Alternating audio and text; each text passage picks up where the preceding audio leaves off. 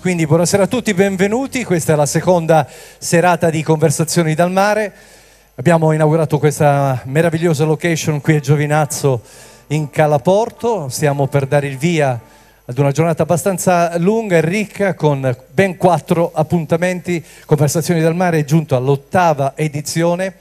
e ieri è aperto con degli aperitivi eh, sull'innovazione e poi ogni giorno, compreso anche domani, c'è uno spazio dedicato ai bambini, perché questa è un'edizione family friendly, bambini dai tre anni in poi che vengono seguiti da Lucrezia Mastrapasqua con un laboratorio di lettura e di disegno. Io ringrazio ancora prima di iniziare tutto lo staff tecnico, i nostri amici che ci stanno riprendendo, la Croce Rossa, il Corpo di Polizia Municipale e soprattutto i tantissimi ragazzi che stanno collaborando con noi. Sono ragazzi di scuola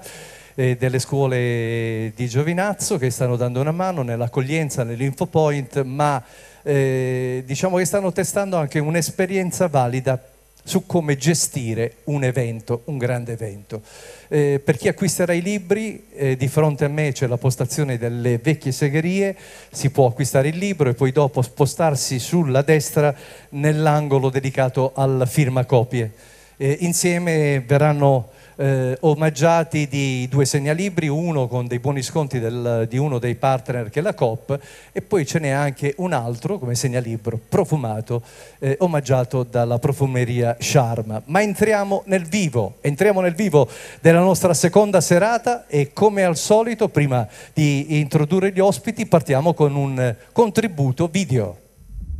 Eh, questo libro nasce da spunti di vita personale un po' da una riflessione più diciamo, astratta che mi vado portando dietro da un po' di tempo, sulla quale avevo avuto in mente di scrivere da anni ormai, che gira attorno al concetto di rapporto con la morte che ha la nostra civiltà, che secondo me è un rapporto un po', un po malato perché è in corso secondo me un, una sorta di rimozione proprio del, del, concetto, della nostra transitorietà, della nostra condizione, non, non si parla più tanto, siamo un po' distorti e orientati verso, verso tematiche più frivole. La frivolezza è fondamentale, il punto è che se fai spazio solo alla frivolezza nella tua vita, poi non riesci a elaborare le questioni veramente fondamentali alla fine e ti perdi qualcosa che comunque mettendola sotto il tappeto non la, non la fai scomparire, quella da qualche parte va. E in effetti il romanzo, quando me lo si chiede, tendenzialmente io dico che è una storia che parla dell'amore, a cosa succede all'amore dopo l'amore. Questa sera Conversazioni dal Mare, organizzato dall'associazione Artemia, apre con la presentazione della ragazza eterna di Andrea Piva, un viaggio dentro la psiche umana, le sue sofferenze, ma anche le sue possibilità di apertura, condivisione, generazione di nuovi universi. Tutto questo mettendo però in scena la commedia umana con irresistibile umorismo, Piva, già scrittore della Capagire di mio cognato, questa sera a Conversazioni dal Mare per confrontarsi su questo romanzo sociale di altissima suggestione e coinvolgimento. Modera l'incontro la giornalista Antonella Gaeta, con il vostro applauso chiamo sul palco Andrea Piva.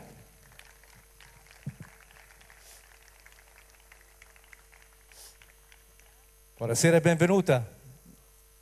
Benvenuta Andrea, palco tutto vostro.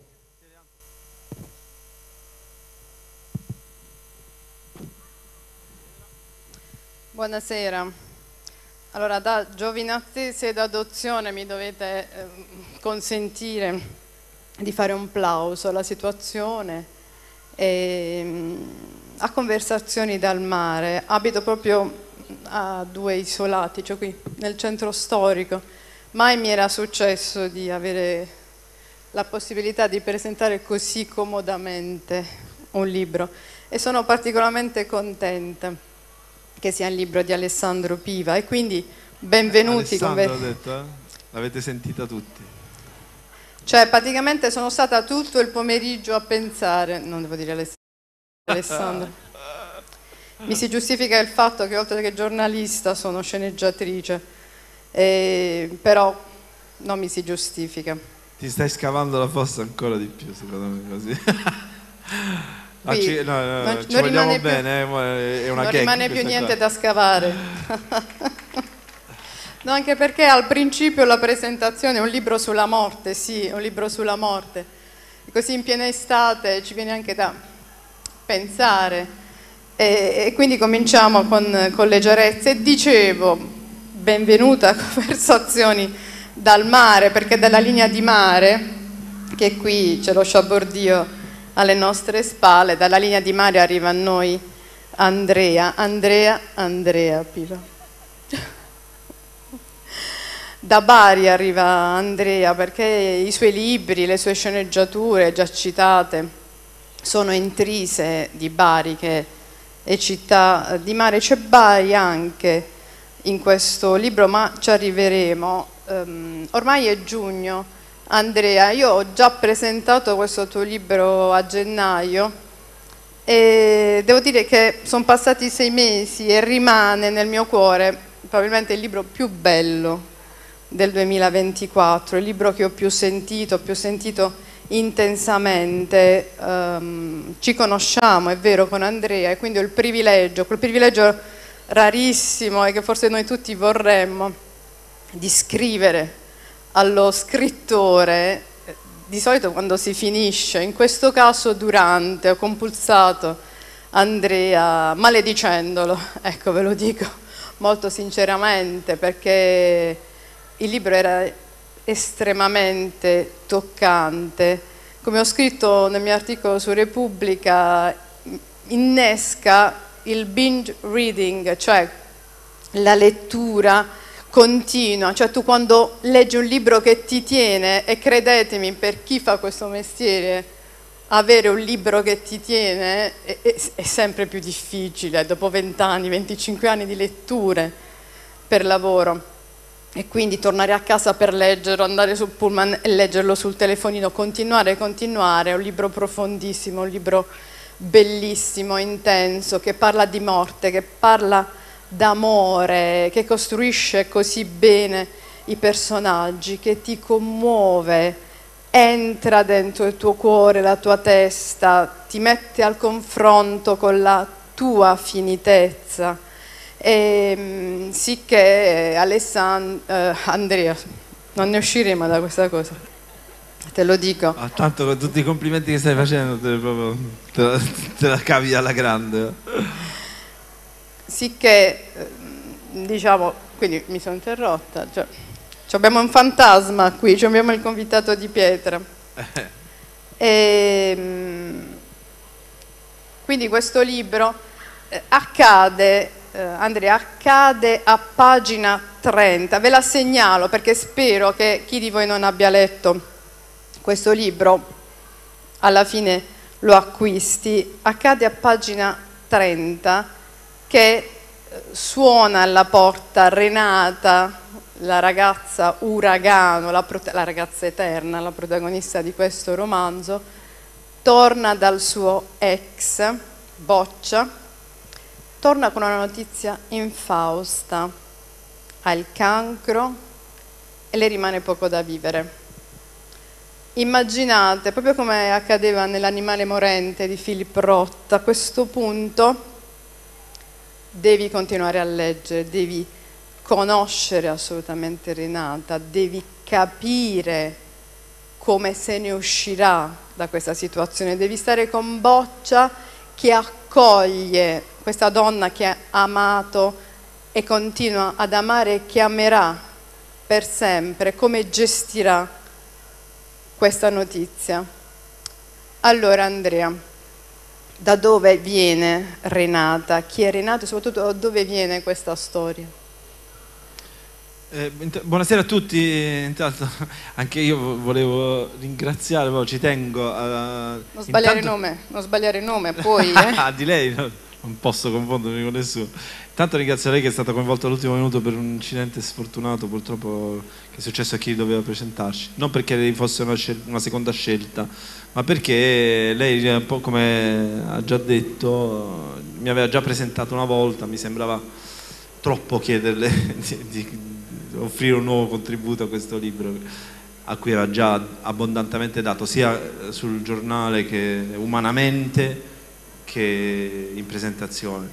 E poi vabbè, avere il, lo sciabordio delle acque dietro a pochi metri è impagabile proprio, quindi sono proprio contento di essere qui, grazie. Dopodiché, ehm, questa storia da dove viene? Eh, ogni volta che me lo si chiede io, io, dico una cosa diversa in realtà e oggi ne dico una che non ho mai detto però, che mi è venuta in mente guidando venendo qua. Eh, il nucleo, di, la, il, diciamo il movente proprio, l'incidente dinamico della mia vita che ha causato che io riflettessi più a fondo su queste cose è stato, è accaduto 7-8 anni fa, non saprei dire con più precisione, il giorno in cui ho visto un documentario su un uh, intellettuale americano che un uomo di, sui 75 anni che era un, eh, era un uh, cineasta, un, un, un, uomo che eh, ha lavorato nel cinema da quando era giovane e che eh, faceva però documentari. Dico faceva perché purtroppo non, lui è morto. Ehm, il documentario parlava di, della sua esperienza con il rapporto con la morte perché in effetti tut, la, quella narrazione iniziava in un modo inizia, eh, parliamo in attualità, eh, inizia in un modo eh, piuttosto cupo con eh, il suo racconto di come eh, l'avere avuto una diagnosi infausta gli avesse cambiato completamente la vita. Portandolo nel vicolo cieco della depressione, cosa che succede tantissime volte a chi si trova di fronte a fasi così complicate dell'esistenza. Ehm, a lui, un, nella clinica in cui si stava curando dal punto di vista oncologico, eh, un, uno psichiatra che ha rincontrato dopo tantissimi anni, che era suo amico di gioventù, eh, gli ha detto ma tu lo sai ehm, che noi stiamo provando di nuovo dopo tanti anni a sperimentare clinicamente con gli psichedelici e abbiamo scoperto che al contrario di come si era temuto e dato per certo per tanti anni, in realtà queste sostanze possono aiutare molto a migliorare il quadro clinico di chi come te sta andando incontro alla morte e lui racconta di come una singola esperienza con eh, la psilocibina, che è la sostanza attiva che è presente in alcuni funghi, eh, il suo rapporto con la morte sia cambiato drasticamente, che lui sia uscito dalla depressione. Io ricordo perfettamente tutta questa narrazione mi, mi sembrava una cosa surreale, proprio non, capivo neanche bene di cosa stesse parlando questa persona. Però quando eh, verso la fine del documentario lui si commuove pensando in, uh, quanto intensamente quella singola esperienza in una clinica, sotto sorveglianza medica, sotto supervisione medica, in, in ambiente controllato, uh, avesse cambiato la sua esistenza, gli, ultimi tempi della sua vita, mi sono commosso e ho capito una cosa che non avevo idea potesse essere mai vera, ovvero che forse questa cosa che ci hanno detto per 40 anni di seguito è la cosa peggiore che può capitare nella tua vita, l'esperienza peggiore che puoi fare nella tua vita, finirai per la strada a chiedere l'elemosina, ucciderai, farai crimini, se ne usi ti butterai dai balconi, forse poteva essere qualcosa che mh, ci aiuta a ragionare del nostro posto sulla terra in un modo più compiuto, più maturo, più liberato e forse ci può aiutare anche ad andare incontro al nostro destino. Perché il, questa persona, cioè, il, glielo leggevi negli occhi che lui era proprio grato a, a, cosa era successo quella singola volta, perché non è che questa è una sostanza che poi si usa chissà quante volte, la usi una volta e poi non c'è più voglia di farla perché è un'esperienza talmente intensa, non è né brutta né bella, è talmente è intensa, è, eh, ti porta a parlare con le zone più profonde di te stesso e ti cambia la vita quel giorno per me, quel giorno ha messo in moto in me tutta una curiosità sull'argomento e da quello poi per vie traverse sono arrivato a concepire una storia come quella di questo libro che in effetti eh, forse è parallela a questa, però chiaramente è molto diversa nel suo cuore, soprattutto perché chi sta affrontando l'ansia di andare incontro alla morte non è un uomo di più di 70 anni, ma una donna molto vitale, piena di vita, enorme, una donna intelligentissima, coltissima, fortissima.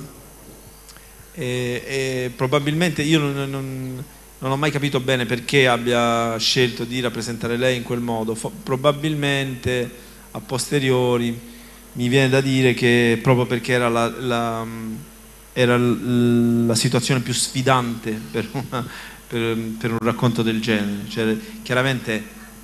eh, la morte non è mai, lo diceva Fenoglio, no? la morte è, è, di, di, di, ogni morte dovremmo, dovremmo, tenere conto come se fosse la morte del, del, del più grande degli uomini, perché la morte per ognuno di noi è l'evento più rappresentativo forse anche della nostra esistenza. Diceva un'altra persona che mi ha presentato un po' di tempo fa, insomma, Mansueto, che è un suo collega giornalista, eh, forse eh, provocatoriamente si potrebbe dire pure che cioè, la vita può essere vista da due lati. Se si può dire che stiamo vivendo, si può anche dire che forse sotto un certo punto di vista stiamo morendo, nel senso che l'una e l'altra cosa eh, appartengono alla stessa sfera e ogni giorno che passa nella nostra vita ne abbiamo uno in meno su questa terra. E, ehm, quindi rappresentare una persona giovane, piena di vita eh, nel, nel, confronto con, con, questo tema chiaramente lo amplificava e mi rendeva il compito molto più difficile, lo rendeva anche ai, ai miei personaggi, però io sono uno di quelli che davanti alle sfide più sono ardite e più ci trova gusto, diciamo. Quindi eh, quando ho capito che mi sarei messo in una valle di lacrime ho, ho accettato il mio destino e infatti così è stato, sono entrato in una valle di lacrime, tant'è cioè, mi sono talmente, eh, talmente immedesimato in questo personaggio che sono stato male. Mentre scrivevo, ho dovuto fermarmi più di una volta, ho pensato molte volte di non finirlo più, cioè, ci ho messo sei anni, insomma, tutte cose che sono fuori scala perché questo possa essere il normale lavoro di una persona. Infatti ha influito eh, con la mia vita in modo negativo sotto tanti aspetti, diciamo. Quindi diciamo non per dire che questa sia la mia missione, chissà cosa sono venuto a raccontare al mondo, però insomma nei confronti di me stesso ho sentito di doverlo affrontare il tema e l'ho fatto nel modo più sincero, più, più autentico che avessi. L'hai fatto nel modo più profondo eh, anche Nicola La Gioia nel presentare questo romanzo annotava come ehm, ci metti tantissimo per scrivere un, un, libro, ne hai scritti tre in 18 anni se ehm, non vado errato, quindi c'è sicuramente una grandissima stratificazione di esperienza, non ultima l'ayahuasca per esempio, un'esperienza di viaggio che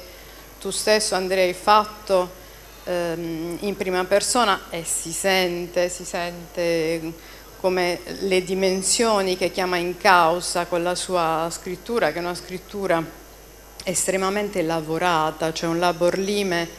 eh, che si avverte e, ve lo dico, è sempre più una rarità. Ti faccio una domanda diretta, Andrea, com'è che ci metti tanto a scrivere un romanzo? Eh, ci metto tanto soprattutto perché anche quando eh, mi capita la fortuna, perché tale la ritengo, di mh, mm, arrivare facilmente a una, di individuare una storia, eh, per me la cosa più difficile deve ancora venire da lontana, cioè individuare la voce con cui raccontare quella storia. Eh, chi ha letto mm, più di una cosa che ho scritto sa che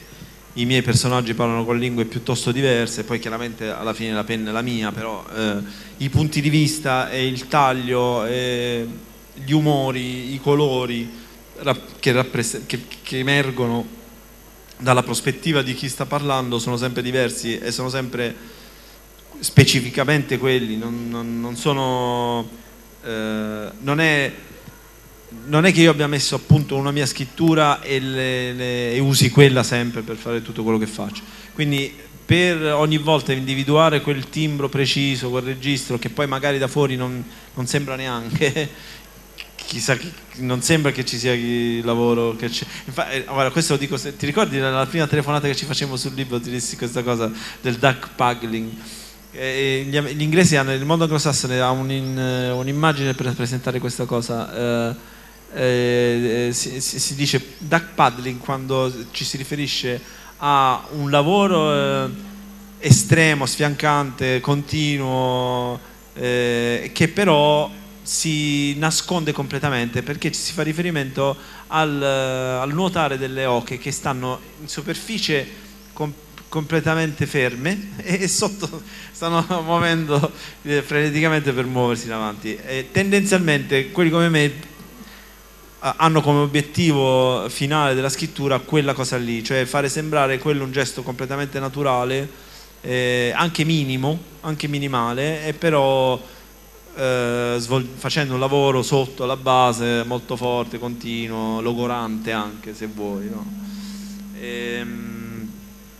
quindi sì, la cosa più cospicua del mio lavoro di scrittura è, è, è trovare il registro linguistico. Cosa, perché ci metto così tanto è proprio quello il motivo. Eh, prima di tutto ho bisogno di individuare un tema che mi sembra degno di essere raccontato, cioè che rappresenti una problematica significativa della nostra cultura at large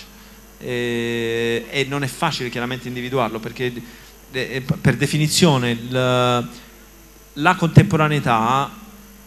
eh, non ha, non, eh, vi, si vive vive se stessa dico ma difficilmente mette a fuoco se stessa il ragionamento sulle epoche è, è sempre il ragionamento di un'epoca successiva che guarda all'epoca precedente. È, la stessa cosa che dico quando mi dicono ah, chi sono i grandi scrittori oggi. Io non lo so chi sono i grandi scrittori oggi, probabilmente non io, ma comunque al di là della questione mia personale, credo che sia proprio eh, complicatissimo se non impossibile capire veramente con eh, precisione chi sono gli scrittori che rimarranno, perché ma anche i pittori che rimarranno, anche gli artisti in generale che rimarranno, perché quella è una cosa che si capisce solo con il passare del tempo, solo quando la polvere della storia si è fermata, si è posata a terra, perché questo non mi ricordo che diceva, c'era uno scrittore che lo diceva, forse Bernard, non mi ricordo, diceva spesso gli scrittori eh, che brillano di più sono come eh, le, le, meteoriti, che sono corpi celesti che eh, di, diventano illuminati, più luminosi del Sole, ma per un attimo, poi dopo non sono astri, non sono stelle del firmamento perenne. Quella cosa lì la capisci solo quando scende la notte, quando passa il tempo. Come vedete è sempre, come dire, estremamente illuminante lasciarsi rapire da Andrea quando comincia a prendere le sue, le sue strade, a raccontarsi, a raccontarti mm, evidentemente un ragazzo di buone e tante letture, oltre di buone e profonde scritture, e proprio perché mi piace ascoltarti, ti invito a rifare, ove possibile, il racconto proprio della costruzione di Renata, che è la ragazza morente, però credetemi è full of life, è piena di vita, arriva a sconvolgere ancora una volta la vita con la sua morte, che non è che avviene eh, al principio, e la vita eh, di boccia del suo ex fidanzato. E quindi questo personaggio, diceva Andrea che ha dovuto trovare la sua voce, la voce è maschile, la voce e di Boccia, il punto di vista di Boccia,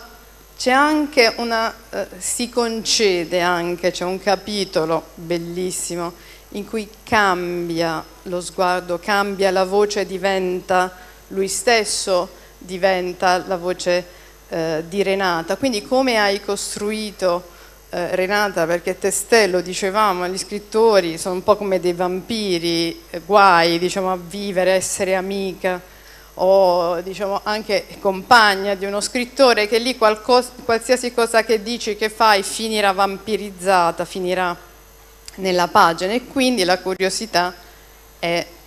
diciamo, la devi concedere, come l'hai costruita questa bellissima Renata. Eh, Renata, eh, in questo caso più che vampiro sono stato Dottor Frankenstein perché ho, ho, ho, ho sezionato eh, parti di... hai fatto una bella Baxter. Eh sì, praticamente ho, composto un, una specie di, di, bellissimo mostro da qualità di, non sempre le migliori qualità, eh, però forse la combinazione poi ha dato vita a un personaggio che nel complesso è molto bello, cioè, veramente adesso io una Renata non l'ho mai conosciuta, e però proprio è come se lo avessi fatto perché ehm, per, io ancora quando penso a lei penso, non penso a un personaggio, penso a una persona viva e non, non c'è mai stata. Poi il rapporto con cui, avendo pure scritto per così tanto tempo e sono rimasto proprio materialmente sulla pagina per tanto tempo con lei, per me è proprio cioè, parte della mia vita. Però dal punto di vista meccanico, come ci sia arrivato lì, eh, come ti accennavo un secondo fa, alla fine la risultante del, del, del tagli e cuci di qualità eterogenee, di donne eterogenee che ho conosciuto nella vita e, e qualche uomo anche. e poi in effetti le, le, pagine in cui oh, il romanzo si, viene raccontato da due punti di vista, c'è una voce narrante, una prima persona eh,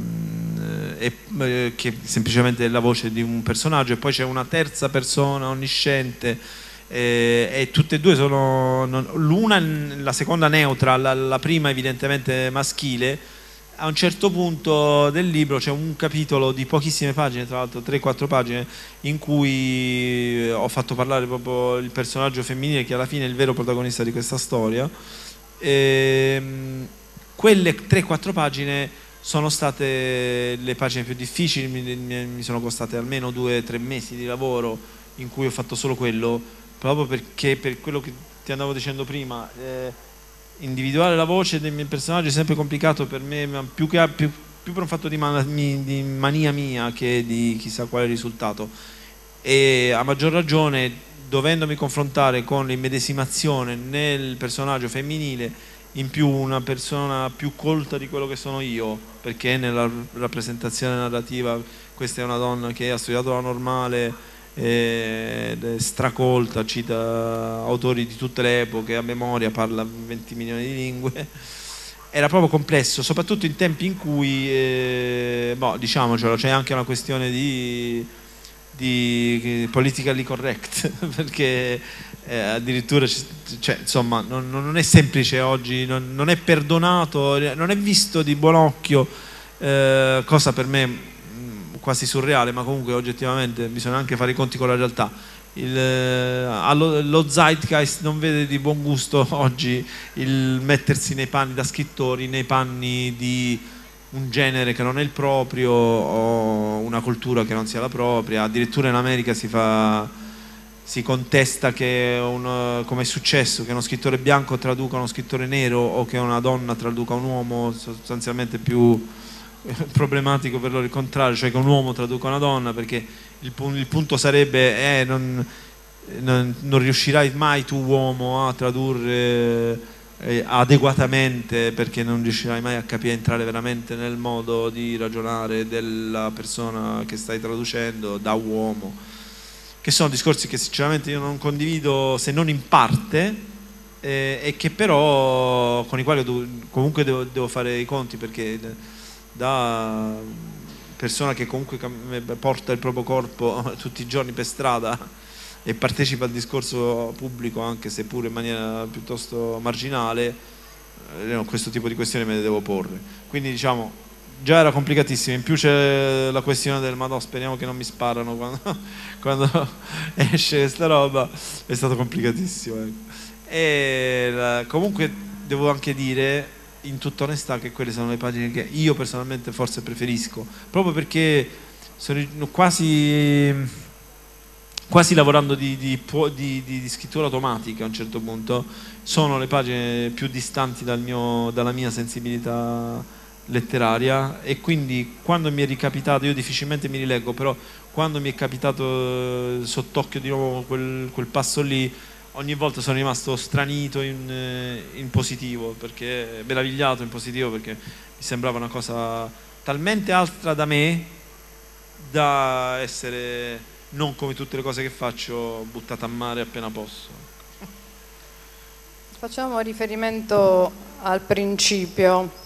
la città in cui si svolge la maggior parte dell'azione narrativa è Bari, Bari che non ti è affatto estranea. E Andrea ha vissuto per lungo tempo a Roma, a Bari, ha deciso di tornare a vivere e mm, non è una Bari esattamente solare, non è una Bari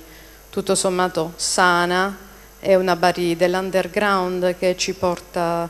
a conoscere, direte, non è una novità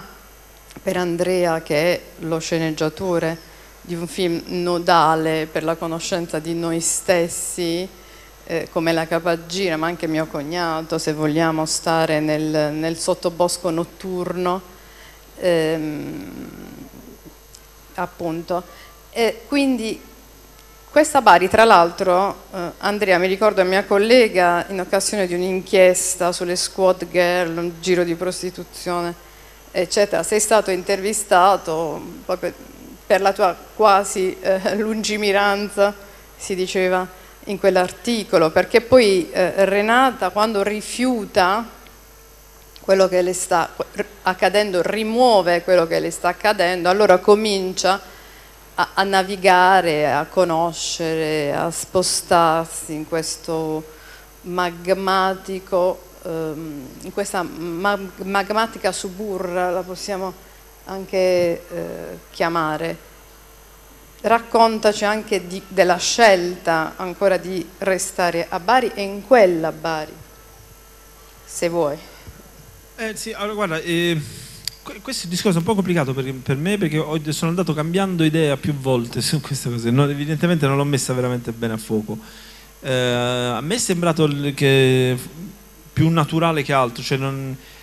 a, almeno questa volta non è stato um, oggetto di discussione, di dibattito interno, diciamo, eh, il dove ambientare questa storia qui. Mi è venuto proprio spontaneo ad operare questa cornice, ma devo anche dire che a differenza di tante altre cose, soprattutto dei miei film, come La Capagira, ma anche forse il mio primo libro, e anche il secondo libro. Allora, il mio primo libro parla di Bari, il secondo libro parla di Roma, e in entrambi, in entrambi i casi le città sono protagoniste. In uh, il mio primo film, La Capagira, chiaramente lì proprio il, il Bari è uh, uno a tutti gli effetti, uno dei, dei protagonisti della, della narrazione. Uh, in questo caso non lo so, non sono sicuro che questa sia una città connotata, eh, che la città di questa narrazione sia connotata in modo tale che non sarebbe stato possibile spostare l'ambientazione un, uh, a Reggio Calabria, non lo so. Secondo me, proprio perché eh, tratta non più tanto di una caratteristica che secondo me è spiccatamente espressione del genus loci, ma piuttosto rappresentativa di una classe sociale. Ehm, e infatti quando si parla per esempio di quello che si capisce essere, non è mai esplicitata la cosa, ma si capisce essere un giro di prostituzione, io credo anche per onestamente averlo proprio visto che quel fatto là non è un fatto solamente barese. Quello appartiene proprio a, c'è un internazionale dei puttanieri, si può dire, che è, è, si riconosce fuori dal, dai confini nazionali dal censo eh, e c'è, se c'è chi compra c'è chi offre. Quella è, una, è proprio una cosa trasversale che eh, che è veramente transnazionale eh, ed ha a che vedere con probabilmente l'eccessiva concentrazione di denaro nei, nelle mani di una classe sparuta, di, di un manipolo sparuto di persone in giro per il mondo, i quali si sentono padroni del mondo e sotto certi punti di vista lo sono e sono portati a interpretare le cose del mondo, le cose come tutto, compreso l'umanità, compreso gli uomini, come oggetti di proprietà di cui disporre come, con le regole del compra, del, de, della compravendita in generale. Quindi diciamo sì, che, poi qualcuno invece mi ha fatto notare che però anche se sì questa cosa è trasversale, appartiene a più la classe sociale che le, questa città nello specifico, poi alla fine comunque la città è molto tipicamente caratterizzata Eh, io ancora non, forse, forse ho bisogno di più tempo per, per capirlo meglio, però certamente se, se, penso alla capagira, se penso all'animale notturno, lo vedo come le città lì